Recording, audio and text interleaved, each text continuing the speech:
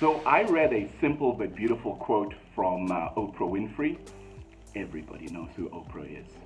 The uber successful entertainer, entrepreneur, businesswoman, motivator, whatever. She, she's everything. And the quote, very simple. It just says, everything is always working out for me. Now, I love that quote. I love that quote because it reminded me of the importance of adjusting one's state of mind. Um, if you believe that you're a victim and everything I try ain't gonna work out, then you're right, nothing's gonna work out.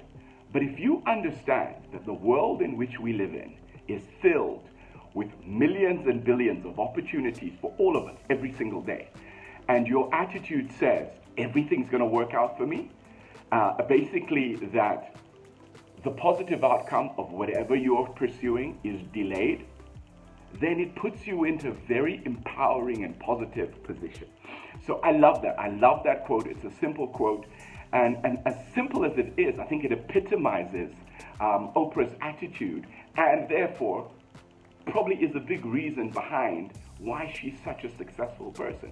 Because she believes in her heart that at the end of the day, no matter what is happening at that particular time in life, everything is always working out for her.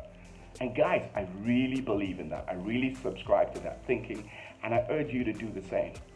Don't focus on the darkness, guys. Understand that every situation you're in has a multitude of positive outcomes.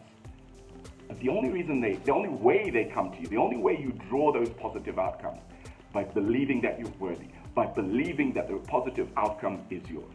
So I love that quote. I love the attitude. Let's make the attitude adjustment, guys, because everything is always working out for all of us.